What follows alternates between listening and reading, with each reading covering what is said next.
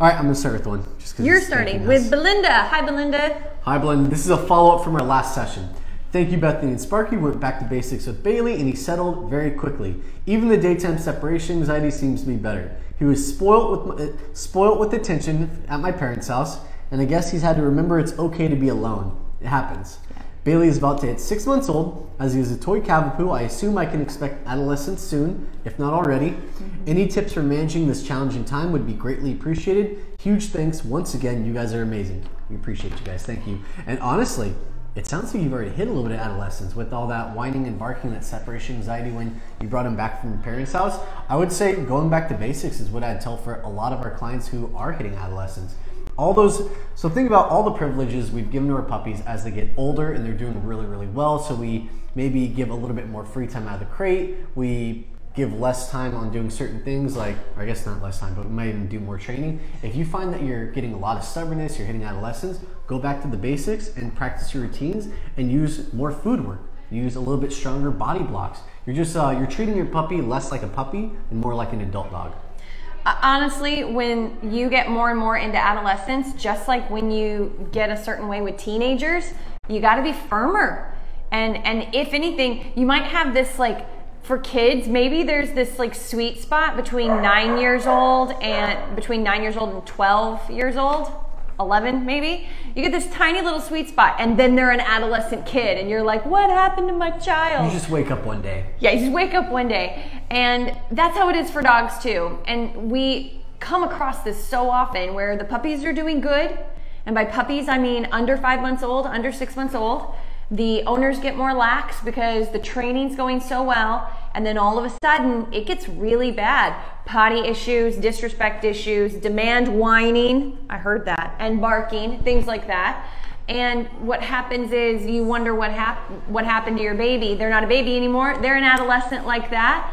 So we highly encourage. Nobody listens to us, but we highly we highly encourage everybody to stay with that strict uh, structure schedule the first two years that a dog is alive. So, oh i think that you just crushed some dreams eh I know I crushed all your dreams. What I told even just a client this morning is he's at the six month period of his dog being that's his age. They've been in the program for about a month and a half. They did their second lesson out of our four, and he asked me how long do I do the structure schedule for the crating. I said every at a year and a half do a check-in period.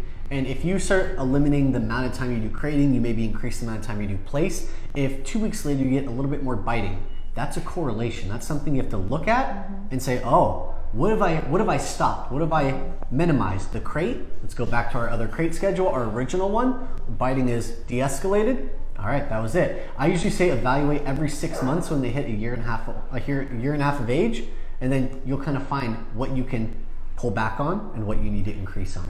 Also, guys, crate is not just for potty training. No. Dogs Structure. right now. I want I want you guys to look at this little Coton de Tulear, um, Walter. Look. Do you think he's looking at us or at you up here? This contraption? No, he's looking at all the dogs. Now, don't get me wrong. This is a busy environment, but even if he was just home, out, he's whining now. I hate you. Be quiet. Um, even if he was at home and uh, and was fairly good at home, but there's a lot of people in and out. There's a lot of noise by the neighbors. These puppies become overstimulated. And so by putting a puppy or an adolescent dog in crate in a quiet room with maybe a radio playing or fan or white noise machine, something to truly let them rest, excuse you, to truly let them rest and shut their brains down. I'm going to say something crazy. It just came to me Uh-oh. because I worked in rescue for years, like at rescue facilities. And I, and I bet you could attest to this, even though I don't think you did that. But I work with rescues, You- but I you- work with a lot of rescues after adopted. snobby, snobby. Sorry, I'm just kidding. Sort of. Two dogs Sort of. rescues sort in the shelter. I'm just kidding. I was just kidding. Any opportunity I can take to, like, just bring you down, you down. a little bit. It's okay, I'll take it. Okay, so anyway, a lot of times we go into homes and we see these puppies, adolescent dogs, out of control with overstimulation, very similar to what we see with dogs in shelters. Because dogs in shelters have no structure, they're in a kennel, they hmm. see coming and going, they see dogs coming and going, they're never taught how to deal with those emotions, and they're just like this. I know. like zoomies 24 7. Yeah, Most jump- clients have gotten zoomies. and jump up and whine and Mm-hmm. bark. And I know that you guys see all the pitiful videos of Insta- on Instagram of dogs that are sad in the back of the kennel. But go visit your local shelter. That's not most of them. Most of them are out of control, over being just uh, overstimulated. Is that a word? Stimulated. overstimulated. Yeah, there we Oh, go. But anyway, you get my point. These dogs need a break. They need to be able to turn their brain off. And the way we live with them now, they don't have a quiet backyard to take long naps during the day. That, that's just not the world we live in now. They're in apartments, they're in cities, they're in busy subur- suburban neighborhoods. And so you need to give them those controlled nap times. I want to play devil's advocate. Or you create a crazy dog. There's no devil's advocate. I'm playing it. I'm doing it. We have five questions, four questions. We have questions coming I am still bringing in more. I'm, I'm doing it. I'm playing it.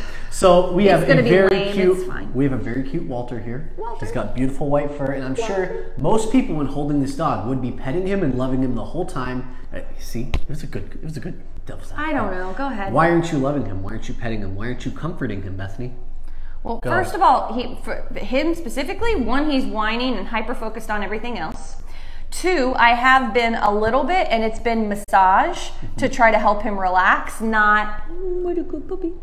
Um, and three, because he seems quite confident on his own, and he does not need me to sit here and further his ego. And if she had, he would still be whining. Look, he actually kind of settled down a little bit. When she ignored the whining, she ignored that frustration of not being able to play with other dogs, he actually did settle. Uh, I actually didn't ignore it. If you'll recall, if we play the videotape, I which we expect everyone to do now. Yes, yes. I said at or no or I don't know or knock it off. I said something, but I took my hand very firmly on his chest or his back or something, and I was just like, "Hey, that that's right. That that's right." So we're not shaking the baby. it's a Calm little him down. nudge. It was just it was just a little Yeah. just just to get his attention. He looked at me, and then it's like, "Settle down, good dog. Now I'll go back to massage." It's like the kids running in circles screaming. You're like, hey, hey, hey, settle down. Settle down. And they're like, oh, yeah, why were we doing that? I don't know if it's that easy with kids. You don't have. I don't have You kids. don't have. Kids. you don't have. I have dogs. Moment of clarity is a little bit easier to get with dogs. But but anyway, guys, and I'm not flat hand petting. I'm not like good boy. It's like calm, controlled, good boy, nice. Where are you going? He's trying to come to me, see, he loves me more. You work with him more than I Yeah, do. Josh works though. Anyway, okay, guys, you get our point. Let's move on. That was a good one. Good devil's advocate, right? I don't even remember the devil's advocate. I don't remember either. All right, from Naomi Marie, welcome back. Hello again. New question: What should a seven-month-old puppy crate set? Oh, puppy crate setup look like? Seven hours. If gone seven hours. Oh, okay. Seven months old though. I Seven don't know. months old. Maybe your puppy can hold it and lay down. If you take him for a hike in the morning or a, like an hour, hour and a half long walk, and Should I be leaving a water bowl? I'm afraid she'll just tip it over. Uh, I wouldn't leave a water bowl, but if you're gonna do a long period of time and your puppy's able to hold the urine, then you. No, I still wouldn't do that. Never mind. Take that back. Bethany, what were you gonna say? I usually leave a little bit of water for dogs um, if I'm gone more than four or five hours. But it also depends. Squeeze bottle though. You could train a squeeze bottle. I know. I like the squeeze bottle. I know you just you do. look at it. Got a little rolly ball in. Um, you just get something that attaches to the crate and then clip it, Mm-hmm. you know, to the top. So he might spill it, but he can't knock it all over the place. like a guinea pig.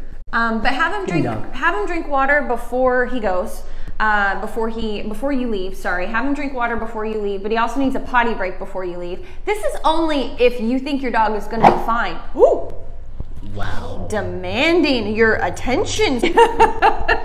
wow, Walter, you've about overstayed your welcome, cutie pie.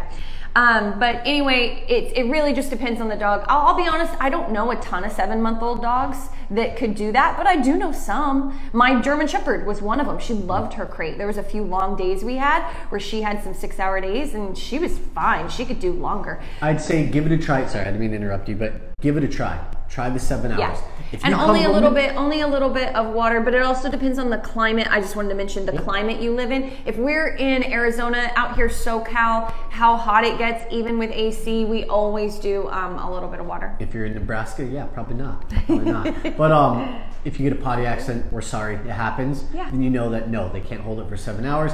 If they cannot hold it for seven hours, then I recommend doing a. I don't know what kind of breed it is. It didn't say the breed, but seven months old. I'm assuming a bigger dog. Then I'll do a large, tall playpen setup around the crate. You're talking like a seven month old. If it's a large breed dog, you're like getting Great Dane size crates. I don't Yeah. know. I mean, it's maybe hard. It's maybe hard. maybe put them in the in the basement with a really strong baby gate and uh, you know and a potty patch in the corner. But they can't be chewing. But they can't be chewing. Yeah, that's right. See, that won't work either. I don't If like that. if you're getting a dog forget, that's forget. chewing- We're problem solving. Crate for seven hours, Forget but someone comes in at the four hour mark to give them a quick potty break. yeah, I don't know where you Rover live. Rover does it for like 15, 20 bucks per time. Yeah, I don't know where you city live, life. but neighbor, rover, something simple. Um, if your dog has some behavioral issues, you'll have, you'll have to pay for someone that's more like a thirty to forty dollar to come in and properly know how to handle your dog. But if you can go cheap, just to give that potty break and then back and crate, And this is all going off of if you can't get seven hour hold time. Yeah. My dog used to just hold it for like eight hours. I'd come home at a young out for- age, at a young age. Uh, nine months old. So a little bit older, but I mean now it's good. It's the point to where when I go home for my lunch today, I'll bring her out of her crate. She'll go potty, and then I'll be like, "All right, come lay next to my feet." And she'll go back into her crate until I leave. I'm like, "Damn, dog doesn't even love me." Won't even sit next to me. so some dogs love their crate and they'll do long periods of time, and they're no issue. Just gotta play it by ear. Look, look at this dog. He's like, don't, don't touch me. Don't love I- me. he wants to go play with the dogs, so he's like, don't, don't touch me. Are, are we are we done with our puppy right now? Yeah, we can put him. He's so cute. Say bye, Walter. Don't let him take your mic with Look him. how adorable this face is. Oh my gosh. Bye, buddy. He's a good little dog. feisty, feisty little thing. You want to do the next one? Yes, gimme. Okay, Wait, do that one. Do that one because I know you're gonna love that. okay. Uh, Stuart. Hi, Stuart. I hope you'll address not just counter surfing, but insistent counter surfing. Well, Stuart, you seem passionate about this. Um, our like this one. Our five month old border collie, half lab, gets worse as she grows, as she can see she can see more on the counters. Also, does chewing up a couch count as counter surfing? No, it does not. Couch surfing. Couch surfing. No, couch surfing. Couch no, surfing no, just doesn't. means that they surf the top of the couch. Yeah, like, oh, there is destructive couch surfing, which is- like jumping over furniture, tearing up the cushions, not with their teeth, but like with their paws. Yeah, he's just chewing, which is normal for his age. You need five month old. age? Five months? Fi- if you have a five month old anything and you give them furniture or even a bed in crate, they're probably going to chew it up. So that's super normal. Sorry, you need more management. You need better uh, supervision in the house. You probably need to be teaching impulse control in about a million other ways. Here's the thing about dog training, guys. If I have a reactive dog, if I have a dog that's barking at other dogs, yes, we do give you techniques to work on those moments, but my teaching is done in other moments. No, you will not be too excited looking out the front door. No, you will not jump on me. No, you will not do XYZ. Um, I set a tone with dogs and even puppies in a different, in like in a different way, in more of a training, controlled training session way. And then half of this other stuff disappears, but not the counter surfing. The you chewing. don't have training moments; you have a training life. Yeah, it's a lifestyle. Yeah. It's like raising kids. You have a you have a you're raising a dog forever. Good luck. No, okay. So anyway, five month old border collie. Oh, counter surfing. So we did do a video on this. Maybe that's. I that's think he's going off of that, from. but he's Yeah. getting cons- insistent counter surfing. so counter surfing. I still say though, it's going to be the same thing. For regular counter surfing, we put a leash on a dog and we control what they have access to. With insistent counter surfing, I'm going to assume they're just more pushy. I might do or looking looking for their moments like puppy Oh, even ah, okay. puppies will be like they're they're not looking at me right now I had a uh, a long time ago. It was a dog that was about 155 pounds, and we would work with this dog. Every session I did with them on the counter surfing, and we literally had to set up cameras. We had to put a long leash on the dog, go around the corner, and the whole thing was because on one beautiful Thanksgiving day, they had their whole 15 person family over and they had a huge 35 pound turkey. And at one point the uncle says hey what happened to the turkey? And they go what do you mean? It's on the counter you And- told this story last year Did It's I? good oh, I probably did. yeah it's good They found it outside. Half a leg was left. This dog ate the entire turkey, boiling hot turkey, and he enjoyed every second of it. But from that moment on, they really understood their dog and they said, okay, if there's food on the counter, these are training moments. If there's a bagel on the counter, this is a training moment. Long leash went on, they went halfway across the room and had a hand on that long leash. yeah hand on a training collar, harness, whatever you have on your dog. And the second that dog looked at the counter, it wasn't jumping. That's correcting the mistake they're making. Yep. You're trying to get a precursor. Intent. Look. You're going you. after Thank you. That was the word I was intent. going for. Like- the second he looks, they give a hey, little tug on the leash, come, place, sit down.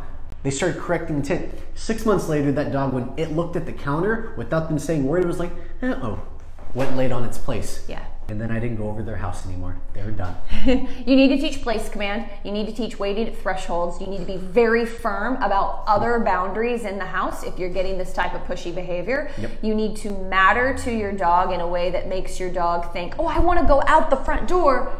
Oh, but wait, my owner doesn't want me to do that. If you're not getting that type of just connection uh, with your dog, that counter surfing is not going to go away no matter what. We we do like to use with old. Usually, I say six months and older, but we do like to use uh, pet correctors, which are like, and they just they they have a startling effect. Um, You have a split moment to then redirect your dog, though. Yeah. Shorter attention span is like 1.34 seconds for a young dog. Older dogs, too, is only like two seconds. dog come place. Mm-hmm. yeah. No, dog come. And then release them, and then release them. Sorry, and then release them and see if they do it again. Why? This is actually a really great question. We've gotten Because a need- lot of questions on this, too. You need to see if it's going to work. Yes, you don't want to just stifle the drive to want to jump on the counter. You got to make sure that they're learning that it's not just the pet corrector that tells them no, it's the habit that you're trying to break, not the moment, the habit, long term. Oh, and I have two more things to say, and I can because we have time today. So, um, TikTok and YouTube. Ooh, yeah, this don't, don't ruin my jam. You get one of the two. So, um, no, I have to have both. It's context. If you, not you, not you, Stuart, but just the general population of you, TikTok you. TikTok you.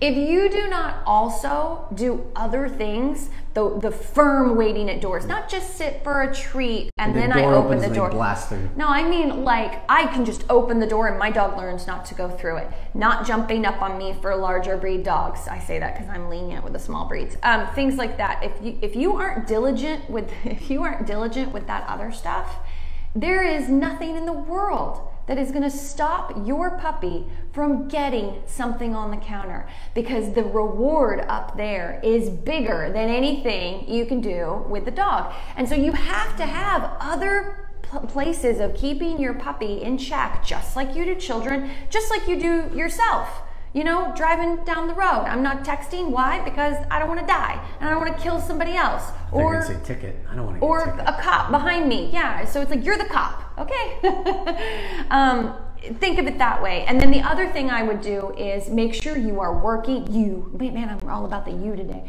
Make sure you are working your puppy in the house. So I might set up a pet corrector situation and then test it out again. And then in 30 minutes to an hour, I'm gonna have my puppy drag a leash or on a loose leash and very calmly do some training in the house by the countertop. Walk by the countertop, keep their focus.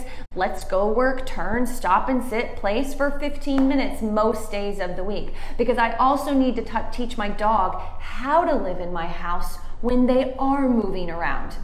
So you gotta have Structure. You gotta have all this stuff come full circle. All this stuff come full circle. Okay, guys, um, moving on One more here. really Two more here. fast. This is super fast. Alexia, this puppy schedule was a major help in getting our Frenchie potty trained. Good deal. We started using it four or five months old. He's almost 11 months old and pretty much potty trained. Ooh, that's tough. You've really stuck in it. Way to go. That's that's a tough, long period of time. We are now going to use um, the basic idea to create a new schedule for him and our senior dog, so we can start living with them both. More free time in the house. Such a huge help. Thank you, thank you. That's awesome, Alexia. beautiful. that's like a dog trainer Yeah. right there. That's that's you've done your research. Prob- and problem solving. Way to do some problem solving. Mm-hmm. Yeah, Great really job. nice. Okay, cool. So let's hop on to some questions. Oh, No, we do. Yeah. Uh, Stella, my Don't nine. worry, Stella. We didn't forget about you. My nine, but thank you. My nine-month-old toy poodle. So this is a nine-month-old dog, everybody. This is an adolescent dog. Let's just be clear. Um, gets aggressive and bites when he has his chewy bone. How can I make him stop? So one of the easiest ways, and I know it's probably not the answer you're looking for, is be preventive. I don't give chewy bones to dogs that misbehave with chewy bones. It's One of the easiest things to do. Uh, Bethany might give you a little bit more information. That's kind of more down her alley, but a lot of what we do is preventive. I have a dog that one of my dogs, if I give her a um, a yak milk bone, little milk bone thing, she will actually growl at me. It's the only time ever in my entire time of owning her has she growled at me. My other dog, no issue. So I don't give them to either of the dogs because I have one dog that does have an issue with it. Preventative is the easiest way because this is more of a puppy channel. I'm, I'm going to stick with that being my final answer. So, while I agree with you in some ways, some people want to work on these issues. They don't want to just manage around them. Sometimes aggression is so bad that you don't have a choice. And a nine month old, they'll really nail you. This isn't like some 14 week old playing around with growling and biting puppy. This is a nine month old dog. So it's, it's, a, it's a dog. It's almost full size, or it is full size. Toy poodle, probably full, full size there's a, there's a few things here. There's a respect issue, and but then there's also genetics. So some dogs will just do this, even if they've had a great structured upbringing by some of the most firm uh, trainers or sport dog trainers or breeders in the in the world. They'll still have food aggression, sometimes from their dogs. I've seen it. And these dogs have a great out command where they'll growl while eating a bone, but they'll out when the owner asks them to. But, but so it's sometimes it's very primal, it's very genetic I bet there's some disrespect in there somewhere you could work on. This is what I would encourage you to do. I'm not trying to push your comment off, Stella. I promise I'm not. But last week we had a question about this, and it was over food or food bowl. And it was the very first one, and it was very long. We talked about a lot of things. So on our Instagram, IGTV, find the one from last week, watch the beginning. Because, and this is why this is why I promise I'm not pushing you off. Because if you can't practice all of these things with just regular dry food, kibble, bowl, if you can't get that type of connection with your dog that way, you'll never have a chance at teaching it with the bone. So have a better relationship with just regular, boring, easy food with your dog. And then I would uh, say that you should seek out someone to help you teach out which means move away from an object or person of value. Or sometimes we use it for nervous dogs. Like if a person comes up, makes the dog nervous, out, teaches them to move away from nervousness. This is a very advanced command, so I, we can't go into it. But that's that's what I would want for you is to spend a few months working on um, the food work that we mentioned in our last IGTV at the, at the very beginning, easy to find, and then seek out some help with the uh, out command. So, anyway, I hope that helps, Stella, and uh, please come back to us. Tell us how things are going, how they're not going, what's working, what's not working, and we'll continue to help you if you want to revisit. Okay. Questions. Moving on. Mariella says, How would you start training a six month old to go potty outside? Structure schedule. Every video we make. This is not a puppy anymore. This is an adolescent dog. So your kind of window of being a sponge and kind of soaking things in it's a little past due, so the habit might be. Uh, Expect more whining and crying in the crate. Yeah. And then more frequent trips of going out three minutes, coming back in and crating when they don't potty right away. More frequent repeating. More frequent trips, not because they can't hold it, because at this age they can, They but, beca- but because they have the habit of going inside. Mm-hmm. But it's the same schedule. It's the same thing. It's the same thing. And it sounds like you're probably using a potty pad, so Probably. eliminate potty pads. Yeah, you got to eliminate it. Gone. Yeah. None. All right, my doodle, still having issues with my eight month old golden doodle, getting her in the car. She really hates the car. So this doodle looks big. If it's the one in the photo that I'm looking at, um, it's a pretty big doodle. So you want control of the head in some way, shape, or form. So some type of leash to have control of the head and stop going for trips. Just open both back doors. That's one of the things I like to do so the puppy, the dog can see. How old is this dog? Eight month old, so it's older. So it can see out the car and you get in first and call the dog in. It's a lot of physical work. Do that first, then teach them to follow leash guidance in, build up to having all of their meals in the car, all, all while they're not even going anywhere yet.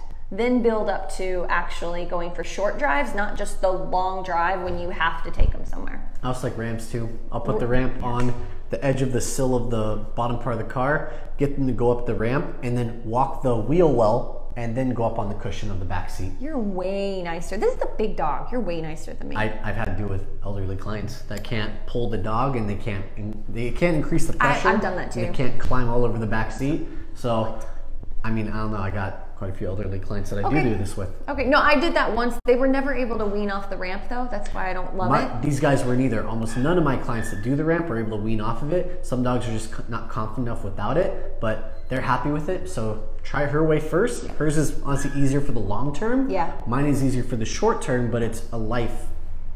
a lifestyle Uh, change. Yeah, but it still works. One one tiny little thing I'll add to that is do other hard things. Get you the same type of leash on your dog and go have them target, you know, a picnic table, a tree stump. Like get them following Go down leash. slide. Get them following leash guidance up and onto things in other ways, not just the scary vehicle. Mm-hmm. So that way, it's just easier for your dog's muscle memory um, with you, and it's a it's such a great way to bond. And different surfaces are challenging. Like a wooden Surfaces, bench yeah. is the easiest. Um, Open. Sometimes you get those benches with the little open holes in it. Those are great. Those are hard. or you'll have like um, what's it, a uh, curl bar where like you lay down on the flat surface, it's metal, get them to stand on that, their paws slip. A lot of confidence building. Start slow, build your way up, yep. and then use a slide. Use it's a really slide. Fun. Make sure it's a little one though. If they jump over the side, you don't want them to get hurt. That's true. Little bleachers, slide. bleachers are good too. Um, Apollo says, Apollo loves his puppy academy trainers. Yes. Is this Apollo T? Yeah, I think so. What's last name? Apollo T, 2T. Apollo gotcha. so cute. Wasn't Apollo? Was that the video dog? Uh, yeah. I don't know, but yeah. I like. He was in the Jeep. video. I, if cool you Jeep. if you guys saw the counter surfing video, we used Apollo. Uh, do we have any other questions over here you want to do? Someone also wanted a, recommendation for a small hypoallergenic breed. Oh, stop it! Don't look at me. Be nice. Okay, Be nice. Okay. But you I'm, answer it. I'm Be going nice. to. I'm going to. So, um, hypoallergenic is a myth. It doesn't actually completely exist. You have breeds like poodles and doodles. Uh, I like Bernedoodles because they're big and lazy. But it basically Not just means- always. not always. Okay, but in the small. long term, Oh, oh, you want small. small. So just get a little mini doodle of some type. But here's the thing: hypoallergenic doesn't exist because it's not the hair that creates allergies. It's the dander that comes off the skin. Certain breeds like doodles have less dander A lot less. a lot less. But also, I have a groomer that works with all kinds of different dogs, and she actually asked me to stop sending her doodles because it's the one thing that does trigger her allergy. Only doodles, not shepherds that shed like crazy and a lot of dander. So I think you got to maybe get yourself around a couple doodles. Yeah, you got to test it out. and yeah. see if this dog, if this breed is actually going to help you. Otherwise, you're going to get a really sweet doodle. Have to give them back because you can't have them in your house. So We we had an, exposure. We had an experience with my husband, and uh, we wanted a, a Maltipoo because it was hypoallergenic. This is like before my little dog Happy. This is like 16 years ago. And uh, Chris, my husband, wasn't sneezing to death, and he was like, "Oh, this isn't bad." And then the dog licked him, and he welled up Mm-hmm. like big time. Bethany's favorite suggestion is go to the dog park and just start picking up dogs and start smelling them really deep in the coat. She Yeah. really likes that. Yeah, get get your face right in their face and just Yeah. kind of just get get get some saliva on you and test One out. of her biggest recommendations for Yeah. getting people exposed to dogs. Yeah, Yeah. it's the best way. If someone just jumped on right now. Bethany loves that. Bethany Wilson. Don't do that. Don't do that. Okay, do we have any more over here? We want to squeeze one in. My Pit mix who just turned one loves to get loose and run around the neighborhood. Any help? Yeah, it's Don't one. let it's, him get loose. it's one. It's it's a one-year-old dog. It's it's not a puppy. It's a wild adolescent dog. You need to do tons of leash training. You need to matter to your dog. You need your dog checking in with you. We've been talking about all those things this whole time in different ways. Um, you've, you've, I don't want to oversimplify, but you got to work your dog. You got to matter to your dog, and not just like not a one-year-old dog. Turn food good. You can use food, but you need to build some focus and respect with your dog, and then use food as a reward. That's the difference. Puppies under five, six months old, food for everything. Food to get focus. Food to matter. Puppies over six months old, you just need to be firmer, have structure in the home, find a way to get to, to just have that connection with your dog on walks, working with them, playing with them, teaching drop it with tug is a big one. These really important impulse control commands, and then they get food when they behave. It's a different, it's a totally different way of looking at it, but it's really important. Um, your your dog is, is having a blast, and and even if you even if you do get to a point where you've got a lot of structure with your dog and and they're looking to you way more if they get the opportunity to be free, sometimes they'll always take it. So there might be some strong management you need to do. You might want to get a trainer to your home to do really, really strong front door invisible boundary training. Um, Well, sounds like he was on leash too and shakes the leash off, right? Is that what it was? I don't know. I thought the dog was shaking off the leash or something, or getting away from me. they just like to get loose and run around the neighborhood. Yeah, because they're in control and Oh, my it's answer fun. was kind of mean then. Yeah, it's fun. D- d- d- I y- thought he was yes. off the leash. Oh, yeah. He says he didn't mean to be such a smart aleck because he, Oh, I meant he that. thought he I meant that in every situation, but just not towards you. just not towards you, but because Um, he thought you said something different. I'm a pity owner, guys, and one of the first things my girlfriend ever worked on with her with her dog, which is I guess my dog too now. Yay, association. Um, was a super crazy strong threshold. We could leave that door open and then leave the house on and accidentally leave it open a couple inches. This dog would just sit there and stare at it. But also, she did hire a professional trainer, one of her trainers actually, and it taught her how to use it. The trainer taught my girlfriend how to use a training tool with her pittie because it's a strong breed, guys. You maybe need one. Check well. Lady was a strong breed. Lady was like Strong-minded. everybody, everything matters except for what you want me to do. Yeah. You got one more? I think we have one Are we? more. You want to? You want to call it? All right, guys. Um. So thank you so much. Join us next week, Wednesday, 1 p.m. Pacific Standard Time, and you can put your questions in Instagram DMs and you know all that stuff. That was PM. P. P no, it's DM. Okay. It's DM. No, I think it's PM. Don't mess with me. It's DM.